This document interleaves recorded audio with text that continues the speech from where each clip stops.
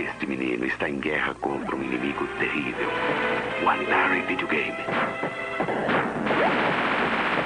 O inimigo possui cartas, mísseis, submarinos. Mas o menino desafiou sua inteligência e venceu. Atari Videogame.